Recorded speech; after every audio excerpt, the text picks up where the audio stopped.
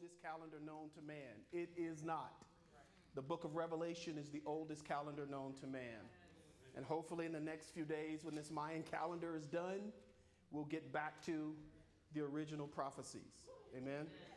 So, for those of you who are planning to uh, give away all your properties before the 21st, just give them to me, right? uh, sadly, sadly, in our world, uh, we're so far removed from God that um, there are already reports of parents who are planning to kill their children so that they don't suffer on the 21st. There are already people uh, running up and maxing out their credit cards, and um, the 22nd is going to be a bad day. uh, maxing, maxing out their credit cards and um, lots of silly stuff. So I pray and believe that none of you are going to be involved in any of those practices. That was a weak amen right there. But I'm, just praying that none of you will be a part of any of those practices.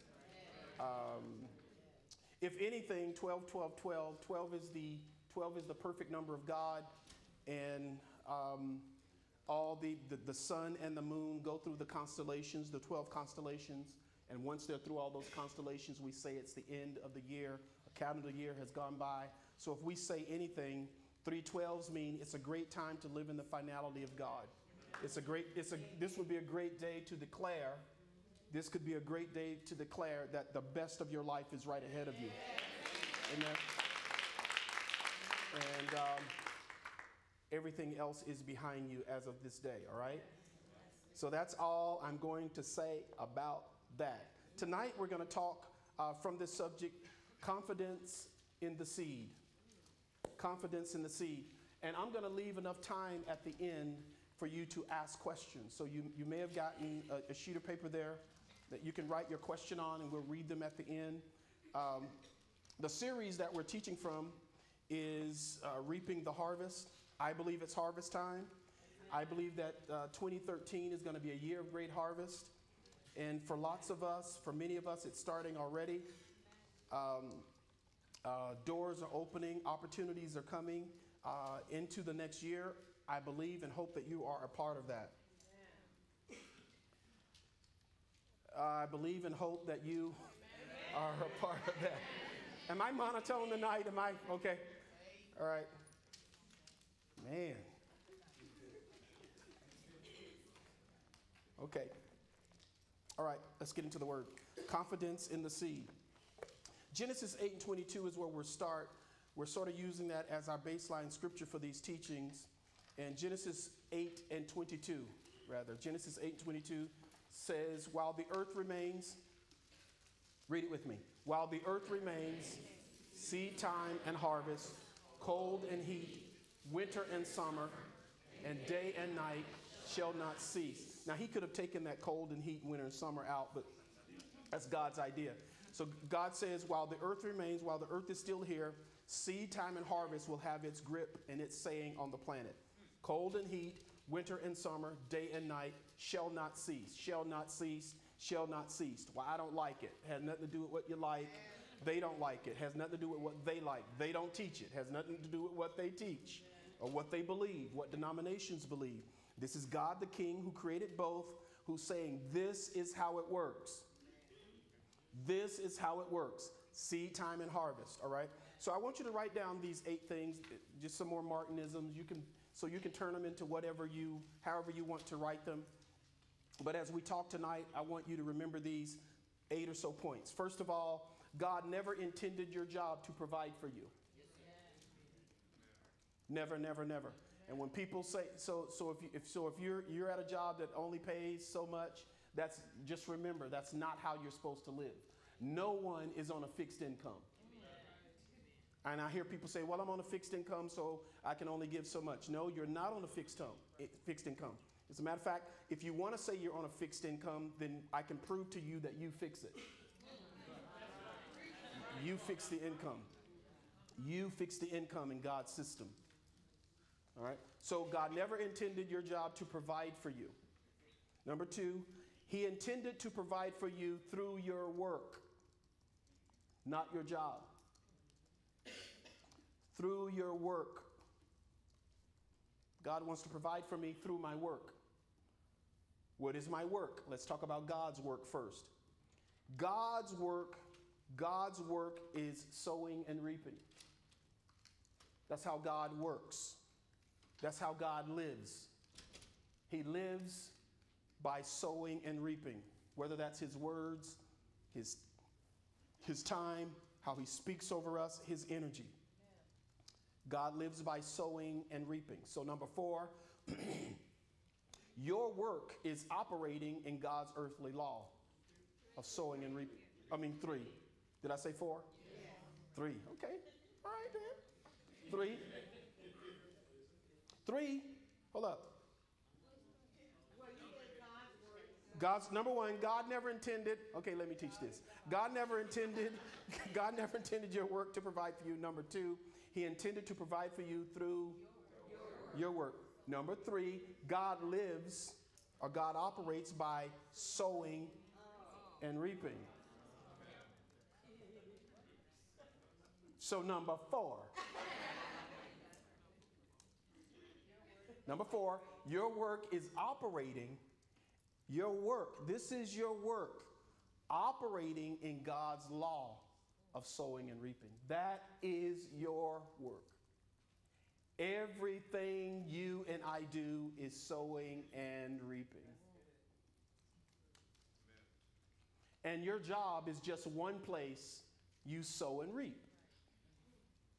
It's not supposed to be the only place you sow and reap. What number is it? Five. Okay, good. Number five.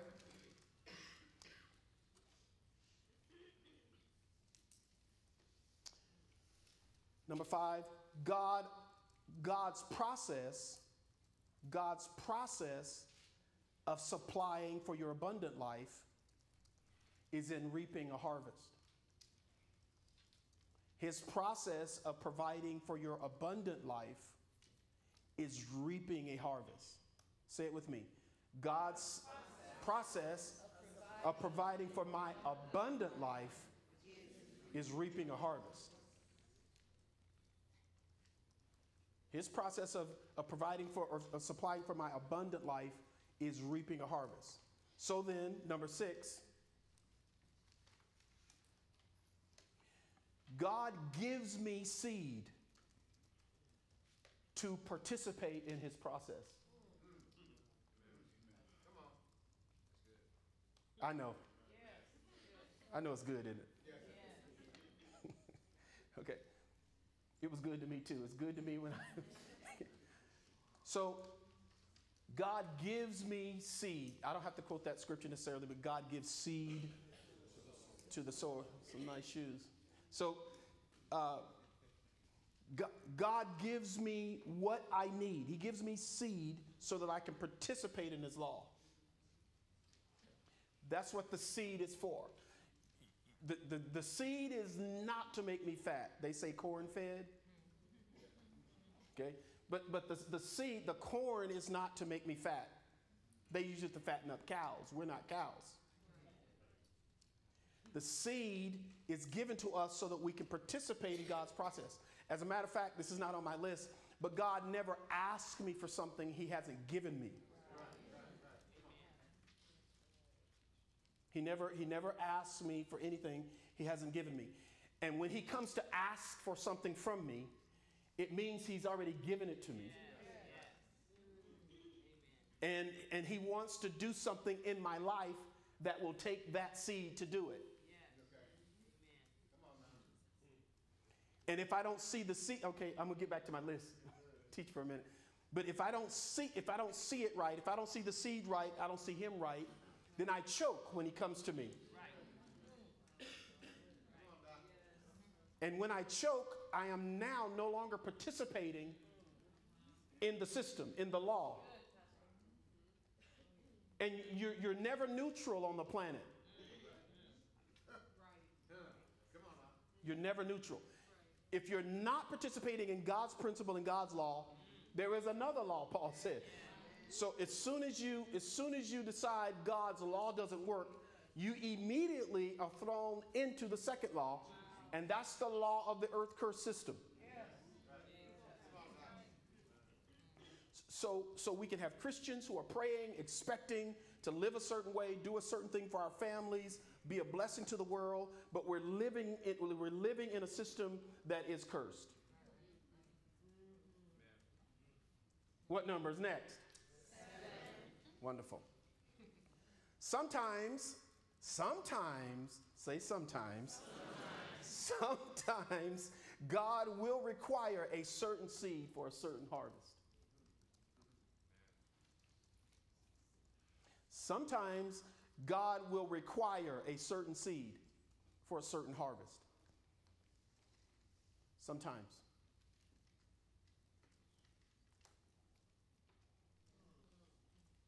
You have something you desire. God knows how much that costs in seed. Can we talk tonight? I mean, not like Christians, but kingdom citizens. All right. Number eight, last one. Number eight. If you are confidently convinced in God's process, you will never have lack. Never. Nunca. That's never in Spanish. I learned that when I was in Honduras. How you say never in y'all's language? Mucho nunca. Much never. you will you will never have lack. That's 8, right? Wonderful. So let's rehearse this scripture, and I'm going to show you the difference and teach you some stuff tonight.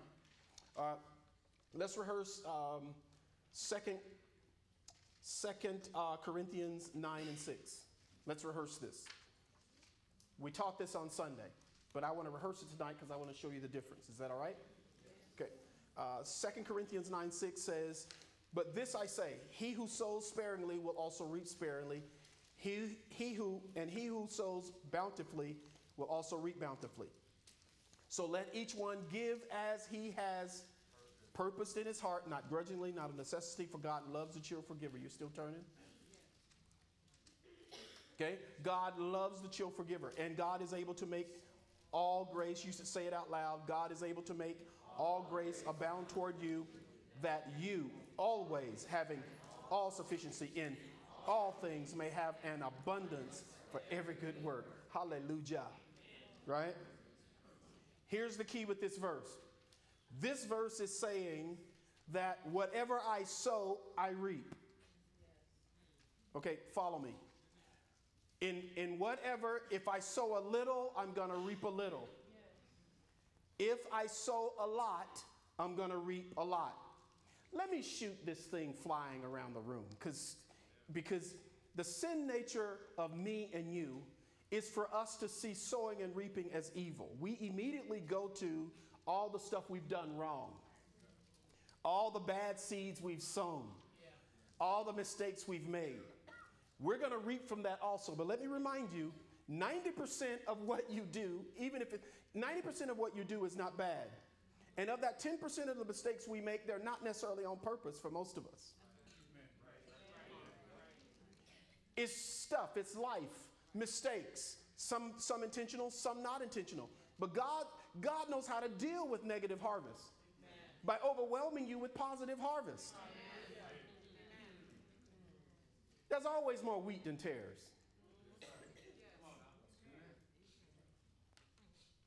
Okay. That's a dead buzzard right out of the sky, right there. Okay, so if I sow a little, I reap a little. If I sow a lot, I reap a lot. Here's the problem with this verse. Hold on. The problem with this verse is if my dream doesn't match match what I sow, I never get to my dream. In this verse, in this verse, my reaping only depends on my sowing. What if I could show you in scripture that when you get to a relationship in God, God knows your heart and what you desire, and He knows the sowing you need to sow. And, Okay, this is deep, but it's not deep. It's all over Scripture. That he he he knows he knows the seed that is required for what's in your heart. And when you get to a certain level in God, God will ask you for the seed required for where you're trying to go. And if you don't understand how God works, you'll choke at that moment. And you won't give the seed he's asking for. Is this too much? Somebody on the internet say amen. It's cold in here. Okay, so let, so let me prove it to you in the Word. Let me show you something in the Word. Okay, okay, all right. It's not for everybody. Tonight's not for everybody. I get it. But for some of you, you're going to get this, and it's going to it's going to open up a whole new world for you. Okay? All right. Because God doesn't want the dreams I have for my children. God, God doesn't want, God, God never expected me to, to be able to earn that on my job. Never. My, my paycheck, that direct deposit, however you get it, it's seed. Right. It can't pay for where you're headed.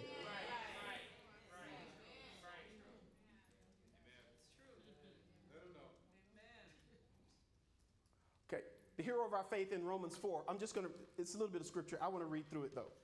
Romans 4 16 says, Therefore it is of faith that it might be recorded to grace, so that the promise might be sure to all the seed. Not only to those who, Romans 4 16 through 22, but also to those who are of faith, are of the faith of Abraham, who is the father of us all. Verse 17, as it is written, I have made you a father to many nations in the presence of him who believed. God who gives life to the dead and calls those things which do not exist as though they did. Who, contrary to hope, listen about Abraham, who, contrary to hope, in hope believed, so that he became the father of many nations. According to what was spoken, there's something spoken back here. There's something spoken. So shall your descendants be. Looking up at the stars, you see it? Now listen. And not being weak in faith, he did not consider his own body already dead since he was about 100 years old, and the deadness of Sarah's womb. He did not waver at the promise. He did not waver. He did not choke. He did not choke at the promise of God through unbelief, but was strengthened in faith giving glory to God, and this phrase, underline it, and being fully convinced what? That what God had promised, he was also able to perform. Something happened in Abraham's life. We're in Hebrews, which is New Testament. Something happened in Abraham's life where he had to become convinced because he was not always convinced at what God said to him. Just like you and me in here tonight. A lot of us are not convinced at what God showed us. A lot of us are not even convinced at what He told us today in prayer. We're not, we're not convinced. We know He's a good God. We're not necessarily convinced that He'll do it for us. I said convinced. But Abraham became convinced. Let's read how he became convinced. Genesis 14, let's go back. He became convinced he became convinced, God counted it as righteousness. He became the father of us all in faith. He is Father Abraham who blessed us all in faith. Genesis 14, we read this. This is Bible night, right? Okay? In Genesis 14, we read this a couple of weeks ago, but I want to reiterate it today. I want you to see something. First of all, uh, verse. Uh,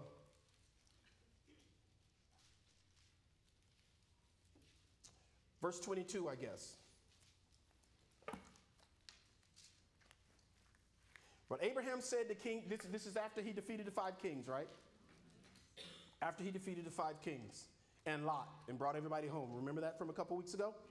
Okay. But Abraham said to the king of Sodom, I have raised my hand to the Lord, Most High God, the possessor of heaven and earth, that I will not take nothing. Mississippi talk right there.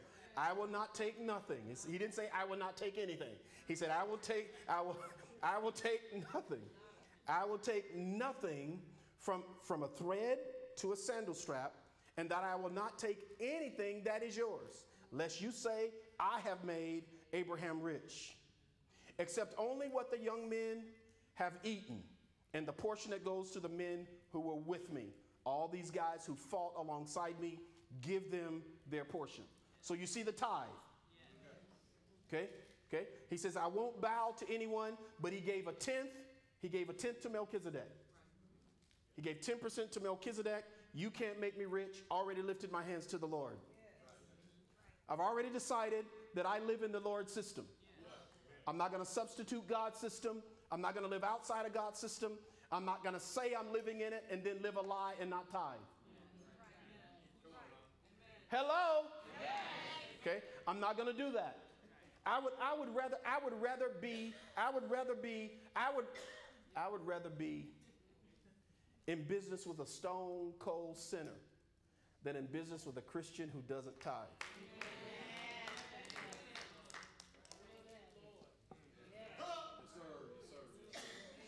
Be- because Christians who, Christians who don't tithe are lukewarm.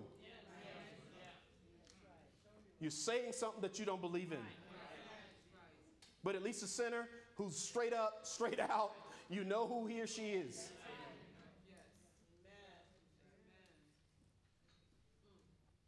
Okay. All right then. Okay. So now let's keep reading. Verse, uh, verse 15. Let's see.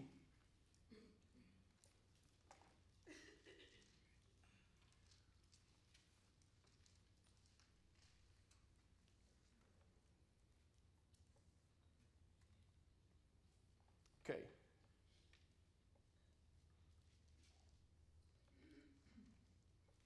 After, the, after these things, the word of the Lord came to Abraham in a vision,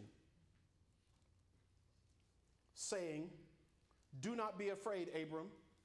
I am your shield, your exceeding great reward. And Abram said to God, Lord, are we there? Yes. yes. Did I what did I say? 15 chapter? Verse 1. Okay, sorry. Then let's start over. I want you to get this. After these things, the word of the Lord came to Abram in a vision, saying, Do not be afraid, Abram. He's already given his tithe. He's already given his tithe. Do not be afraid, Abram. I am your shield, your exceeding great reward. Who? Who's your shield? God is your shield. Who's your exceeding great reward? God is. God is. I'm your shield. I'm your exceeding great reward. But Abraham has this thing now. Listen to Abraham. Lord God, what will you give me, seeing I go childless? And the heir of my house is Eliezer of Damascus. Then Abram said, Look, you have given me no offspring. I have no child. I'm a hundred. But I have no child. And indeed, one born in my house will be my heir. I've done all this stuff. I have all this money. I have all this land. I have all these animals. But I don't have a son or a daughter to give it to. Yes. And now Eliezer, an old man in my house, is going to have all this stuff. In other words, Abram is saying, How you made all these promises to me. Uh-huh. You've shown me this future. You've you said the stars are going to be like my children. You said the sand is going to be in my inheritance. Now I want to know how is this going to happen? Verse 4 And behold, the word of the Lord came to him, saying, This one shall not be your heir, but one who will come from your own body shall be your heir. Then he brought him outside. Here it goes again. Look up toward the heavens. Abraham is like, look, you know what? We've been looking at the stars for 25 years, truly. We look, look, God, at 75, you came and bothered me in my daddy's house and showed me the stars. I'm tired of looking at stars. I want a crying, suckling, pooping, peeing baby. That's what I want.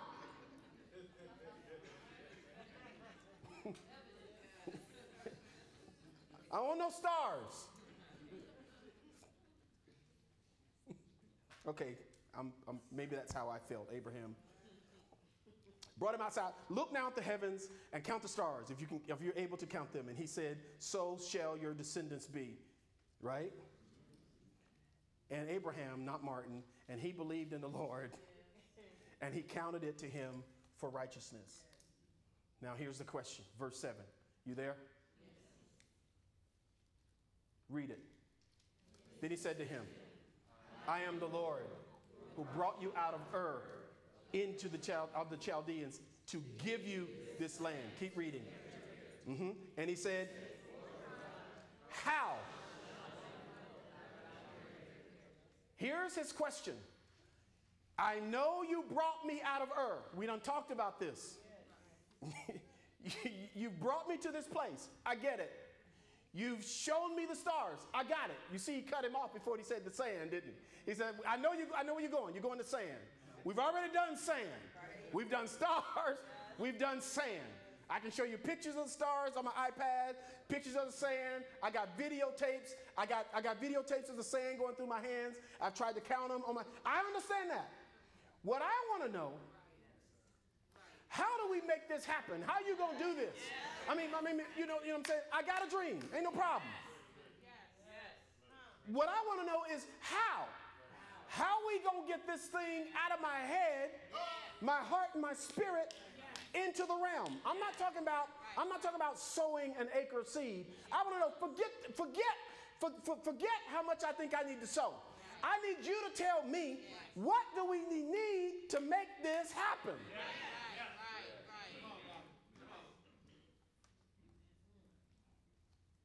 Okay, I'm, I'm teaching this tonight because, because there are some of you who are saying, you know what, Pastor?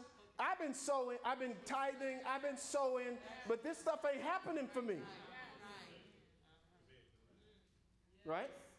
So watch what happens. So God says, Abraham says, How's this going to happen? What did God say? Bring me an offering. he says, Bring me an offering. I want five things. This is a whole nother level of breakthrough, abundant breakthrough in your life. Listen, bring me an offering. Bring me a three year old heifer. That's a cow. bring me a three year old female goat. You have to straighten some people out. Bring me a three year old ram. Bring me a turtle dove and a young pigeon. Later on, he asked for Isaac too, right? Okay? So he says, Bring me this particular offering. So he brought these to him. He cut them in two, he divided them, he put them in the middle, pieces on each side, opposite of the other. But he did not cut up the birds in two. And when the vultures came down on the carcasses, Abraham drove them away. I'll come back to that. He drove them away. And now the sun was going down, and a deep sleep fell upon Abram. And behold, a horror, a great darkness, this is God, fell upon him. Then he said to Abram, This is God. So, so listen to what happens. Abram says, God says, This is what I'm going to do. Abram says, How am I going to know you're going to do it? God says, Bring me an offering. Do with that offering what I say. He cuts up the offering, cuts up the offering, lays the carcasses of the cow opposite the goat opposite, and what else was it? No. The ram. Lays the opposite halves, opposite, and now God comes down himself. He puts Abraham to sleep. Well, let me just go ahead and tell you this, right? So when when Abraham cuts up, when Abraham cuts up the carcasses, immediately in the air, the enemies of his seed come to take it buzzards and fowl of the air come to eat it. Abraham does everything he has to do to shoo them away. Okay, what, what does that mean, Pastor? Thank you so much. So, what that means is when you start to believe in sowing and reaping and giving an offering, people are not going to understand you. It's not going to make sense. So, you got buzzards or vultures, I'm sorry. You got vultures who come. Vultures say, Why are you doing this, stupid? Vultures say, uh, God's never answered your prayer before. Vultures say, uh, God is not in this at all. So you got to fight off. You got to fight off buzzards and vultures of unbelief. That don't believe in this seed system. They don't, they don't believe. You, you got to fight off buzzards. They might look like mama. I mean, I mean, I mean relatives. Some of you are fighting uh, vultures at home. You're married to one who don't even, don't look around. Don't say nothing. No camera. All the cameras are on me. And you're fighting this at home where spouses don't understand and don't believe in it. So he fought them. And then God came and said, You know, this really isn't your fight. this is so good. Look, when you put a seed in the ground, when you put a seed in the ground, the Bible says you go home and go to sleep. And when you go to sleep, that I watched all day for about an hour on YouTube today while I was studying, and I just clicked on every uh, every frame of seed. You know, they can they can um, they can speed up the video, they can lapse those videos, and I just watched them how seed germinate in the ground, unbeknownst to us, underground, out of sight. We don't understand how seed grows. We don't understand how it does it in God either. But I don't really care. I don't really care. It doesn't really matter. And like like like Abram now, he protects it. And then God says, "Listen, this is really on me. You're inside my system now. You're in my world of seed time and harvest." God comes down in the middle of the carcasses, and this is where we get the infinity sign. He walked in the figure of eight among the blood and the guts and spoke to Abram. As God is walking, he's talking. This is how Abraham became convinced. When the sun went down, he says, Know, certainly, that your descendants will be strangers in the land. He starts telling Abram this story. There'll be strangers in this land but I'm going to give you a nation. Verse 15 Now, as for you, you shall go to your fathers in peace. You will be buried at an old age. How much would it cost to get that kind of word from God? But in the fourth generation now, he's telling the truth. They're going to walk away from me. They're going to walk. He's telling him the whole lineage. And finally, in, finally, in verse 18, on the same day that the Lord made a covenant with Abraham, in that offering, to your descendants I will give this land the, from the river, from, from the river to, of Egypt to the great river, the river Euphrates. And then he names a bunch of ites and folks in there. So God says, listen, I'm coming down and I'm requiring you a certain offering to get you to this next level where you're called. And I'm glad we've already received our offering tonight. So I'm not trying to get any money from you, but I'm trying to get some money to you. And, and maybe you'll receive this as I tell my story. And people say, Well, Pastor, you've told this story a million times. I know, but I'm sort of like David. When he killed Goliath, he carried that stinking head around with him for years. He just carried it and said, Hey, don't mess with me. But after, but, after, but after taking 45 years, 45 years to save $200,000, the mistake we made, my wife and I, was going to the Lord and saying, Lord, we, we, want, we want to be for our families, we want to leave for our children this many millions of dollars. We want to leave this for them. We want to leave a legacy of wealth for our children. And we want to provide for them at a certain level. We don't just want to die and they get to enjoy it and we're asleep somewhere. Right? So, so the Lord, bottom line, said, okay, you got $200,000 to save you this long. Now, that dream, I want you to sow that into the church building. So $197, 197, $633 and about 50 cents went into this church. God was gracious to leave us $3,000.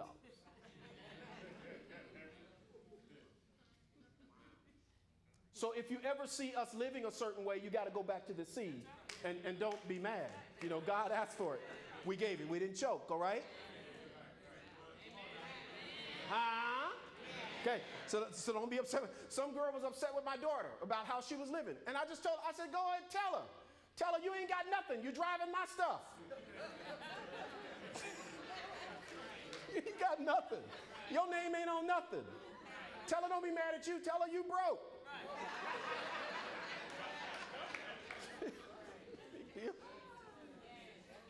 So, so that drink six, six and a half, seven years ago, when that seed was sown, since then multiplied five, six times, well, seven, eight times, just that seed.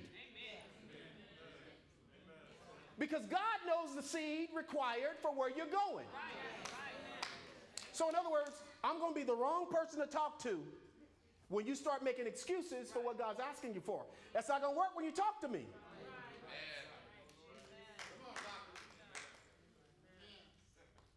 Y'all awful tight lipped.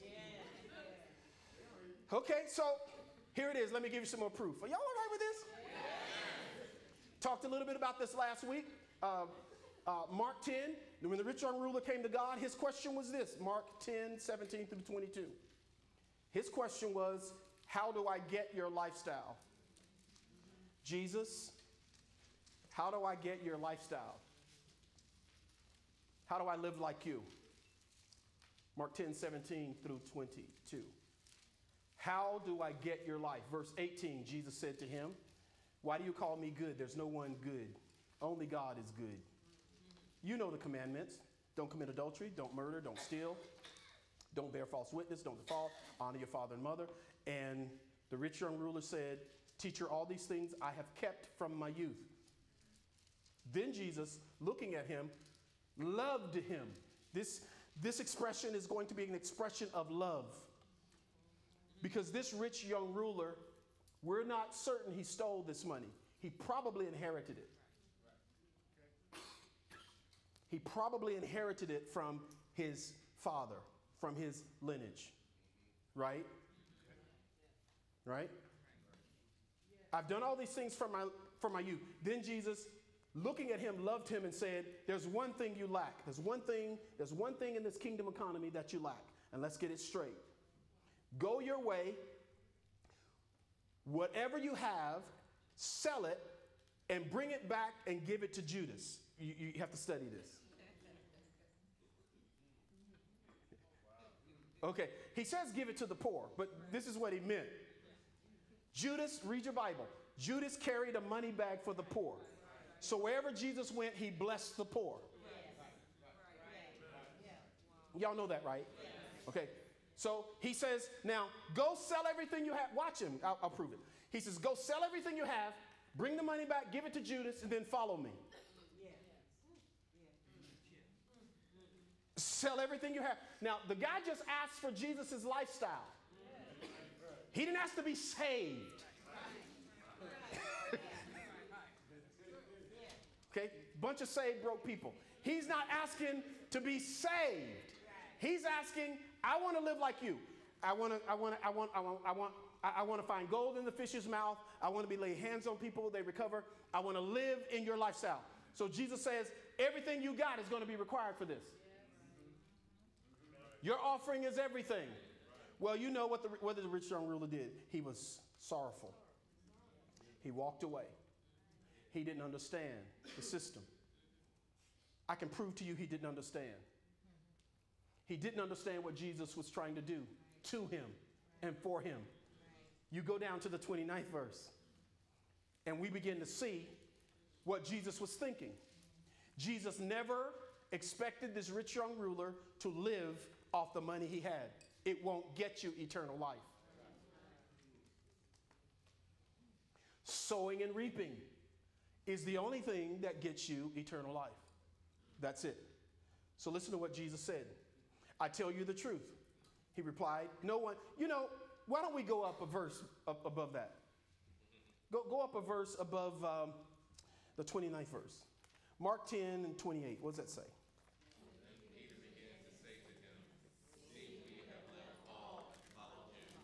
Go above that. What's the verse?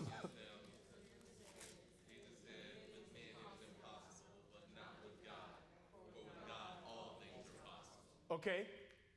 Go ahead. What's the next verse? And they were astonished beyond measure, saying among themselves, who then can be Okay, go back a verse up. Y'all got you see this, right? Did you just see it? Yep. Okay, go go a verse up. Go a verse up. I'm, I'm telling you, man, these pictures, these pictures and stupid stories about Jesus being poor and his disciples being poor, don't believe it. Okay, okay, Okay, it's easy for a camel to go through. Avenida.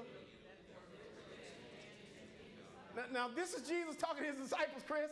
Look, he says, he says, look, it's hard for a rich man to go not to heaven, but to be in the kingdom.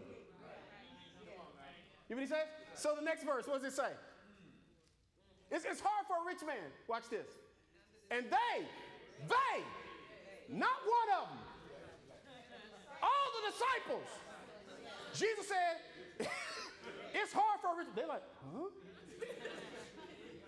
Row, Scooby. They're like,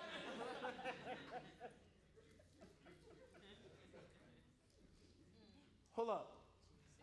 Did he just say it's hard for rich people to get into the kingdom? Is that what he said? They said it to one another. Peter asked the question out loud. Peter said, What? Who then can be saved? Peter's like, All us rich. Me, John, Bartholomew, Matthew, all us got money. Matthew was a tax collector. Brothers loaded. Luke was a doctor. These guys got money. Pete owned boats, not one.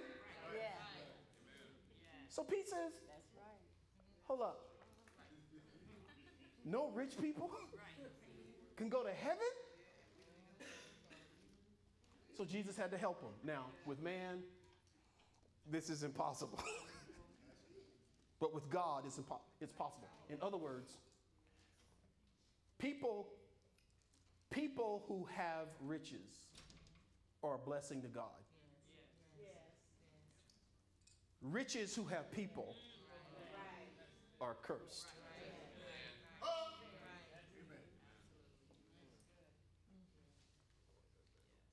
See, I can be proud.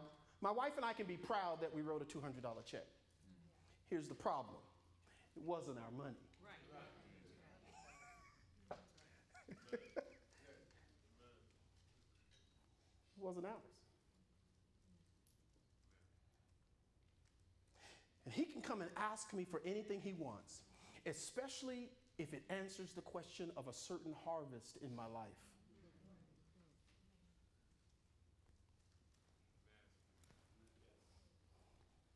I'm not sure you know how good this is. Tell your neighbor, don't choke.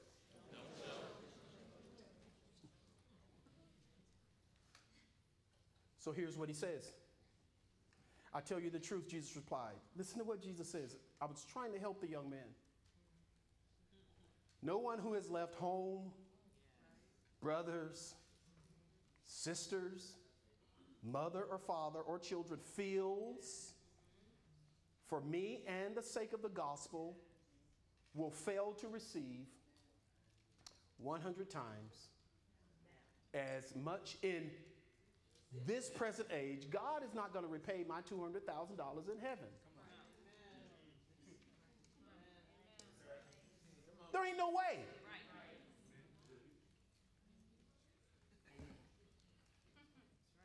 There's no way when I get to heaven, God's going to say, Here's your reward and hand me some gold. I don't need no gold in heaven.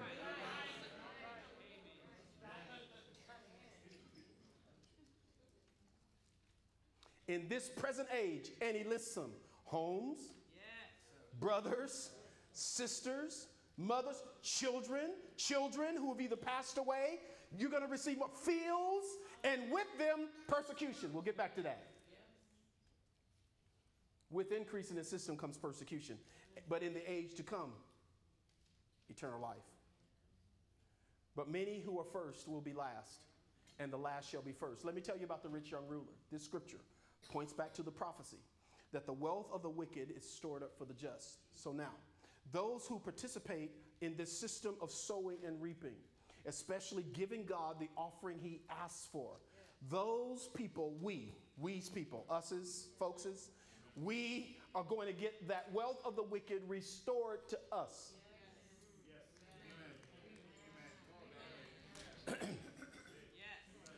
we, that wealth that the wicked has, they're good stewards of it. But the days are coming that us who participate in sowing and reaping This system is turning, it's doing it now.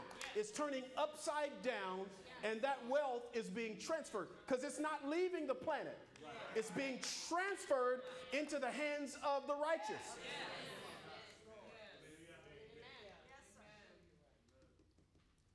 All right. Let me read another one to you. These are good, good, good. Uh, second, second, second Chronicles 1 7. Second Chronicles 1 7. Second Chronicles 1 7. Got it?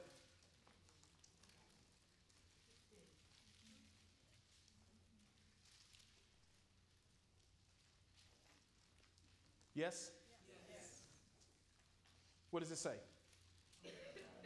On, on that night, God appeared to Solomon, said to him, Ask. Now read the first read the first three words again. Now listen, on that night, God appeared to Solomon and said to him, Ask, what shall I give you? What do you want?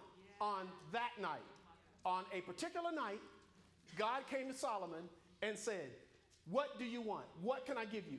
On a particular night, God appeared. God showed up and appeared to Solomon and asked him, What do you want? Okay, on, on that night. Now, what do you want to know? What night was that? What? What? Now, what do I got to do? What, what do I got to do to be in, in, in that night? D A T, right? What do I got to do to be in that night? How many y'all want a night like that one? All right, I do too. But we got to go above it to read. okay, we got we got to go above it. We got to go up to verse two. that night, that night, God appeared to Solomon and said to him, "Listen, what what do you want? Just ask me." Here it is. Solomon spoke to all Israel and the captains of thousands and hundreds, the judges, and every leader in Israel, the heads of the fathers' houses. Then Solomon said, then Solomon and all the assembly with him went to the high place that was in Gibeon. For the tabernacle of meeting with God was there, which Moses, the servant of the Lord, had made in the wilderness. But David had brought up the ark of God from and mhm, to place it to the place David had prepared for it, for he had pitched a tent for it in Jerusalem. Now the bronze altar that mhm, the son of the son of had made, he put before the tabernacle of God, Solomon and the assembly. Verse 6, read it. And Solomon went up there to the bronze altar before the Lord and now read the next verse.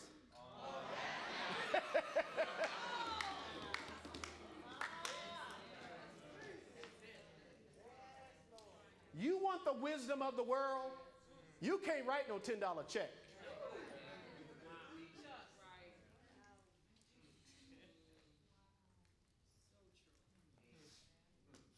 You might start with one, but that's not going to be the last thing God asks you for. A thousand bull offerings, God showed up himself. Boy, what you want?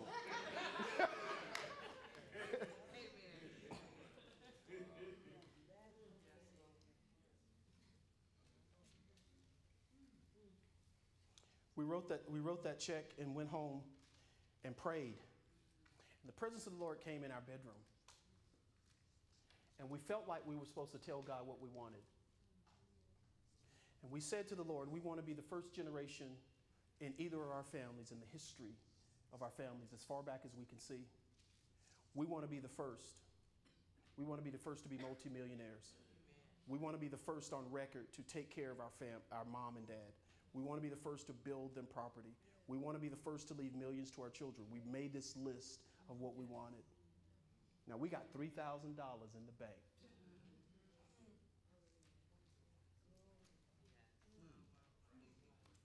That's right, your pastor seven years ago. $3,000, that's it. So now, Pastor, I guess you live day to day. No, heck no. I'm not going to give an offering like that and then get scared. That ain't going to happen. No, no. Ain't no buzzards going to steal my harvest. I'm sorry, vultures. Well, y'all don't say buzzards here, do you? Y'all say those here?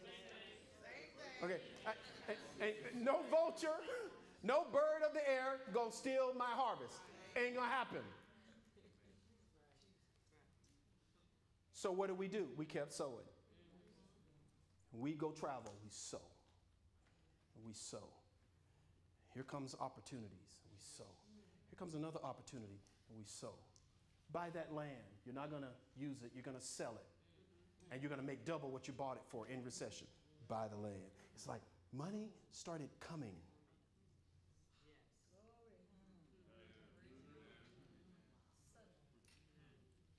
We get to go home next week and pick out a house for Pastor Linnell's parents.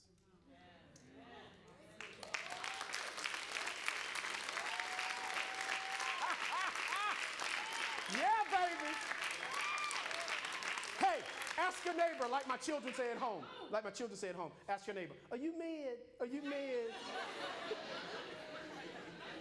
You're not mad, are you?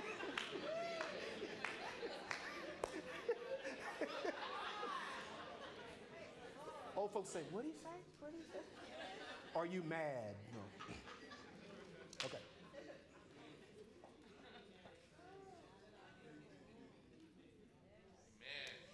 Matthew 26. I'm almost done. We'll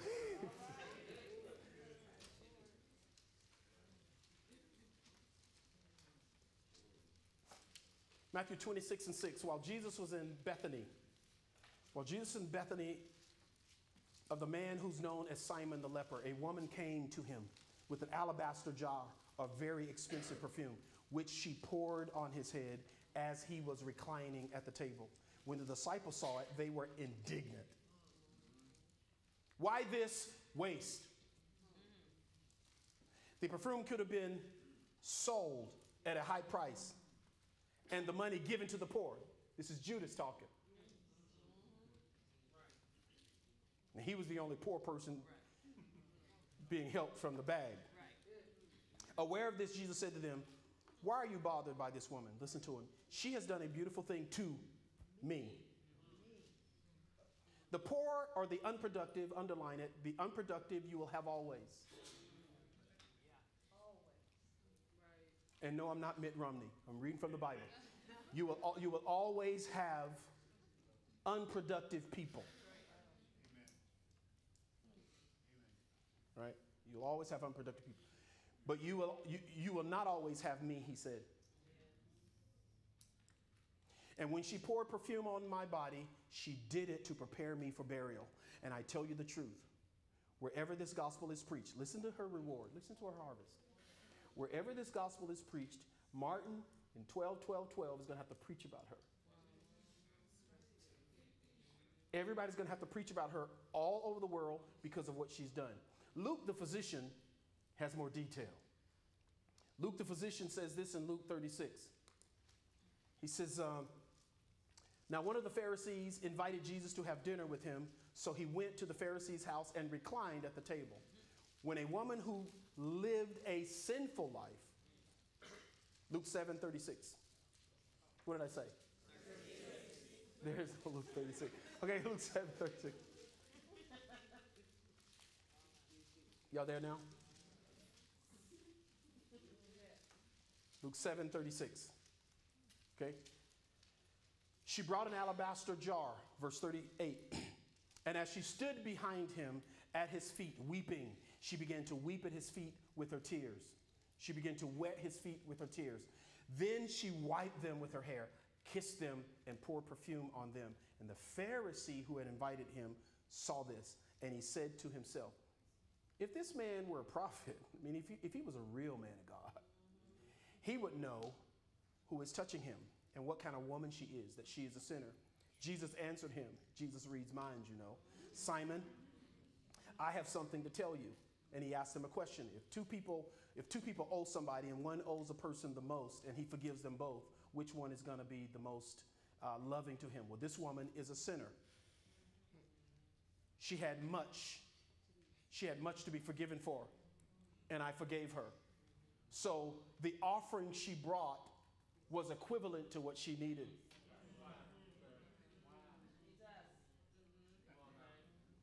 What she needed from me was equivalent to one year's salary. What she, what she desired was equivalent. What she desired, the offering matched it.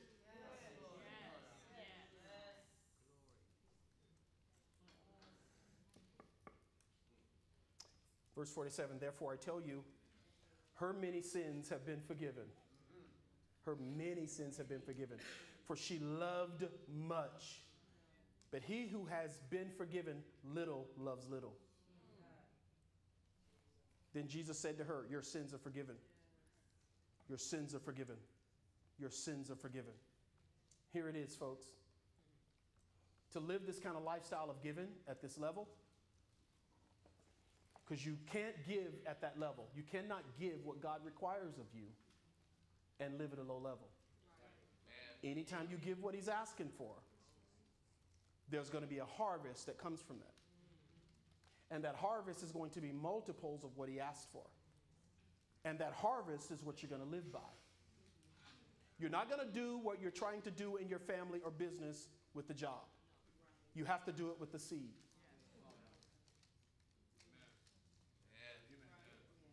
And when you and God get serious, when you and God get serious, He's going to match your desire with the seed.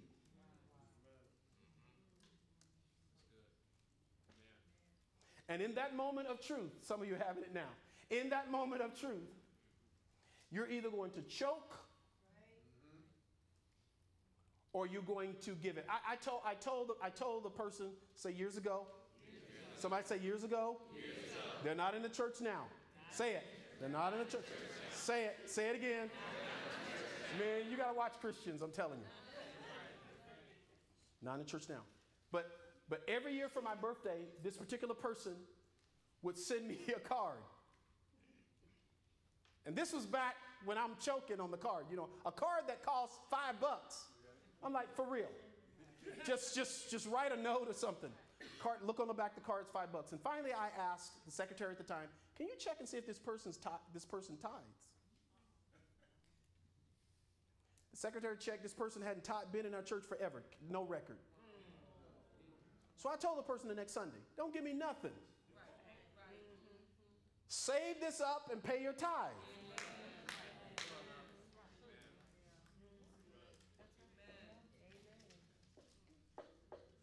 Look, you you you you you you um you can't impress a person and get to God. See what I'm saying?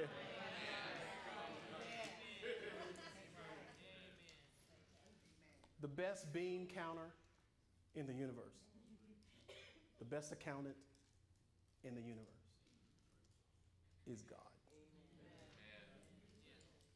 What is Pastor trying to do tonight? Pastor's trying to say to you, number one, God has a requirement for where you're trying to go. Okay, okay, okay. Let's forget God for a minute. Okay?